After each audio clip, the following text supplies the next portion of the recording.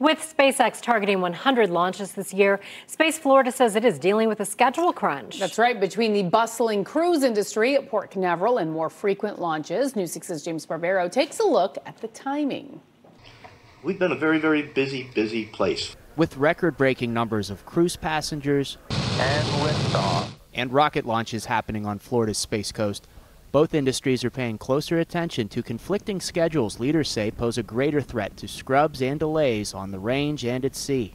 When that safety zone is up, nobody's supposed to be in it.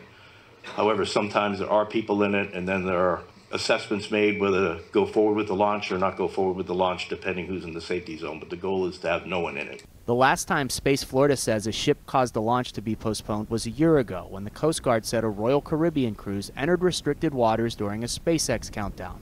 Hold, hold, hold. Ship in the hazard area. The military issues notices to ships where to avoid during a launch. Since the incident, Space Florida tells us the Coast Guard and FAA have added additional notification measures. Last year, we had record launches, 57 launches at the Cape. They're predicting close to 100 this year.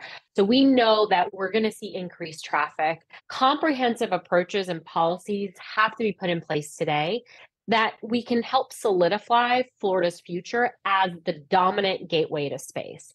Addressing legislators this week in Tallahassee, Space Florida advised for cruise passengers to be aware for the possibility that with a busier launch schedule, arrivals and departures could be delayed.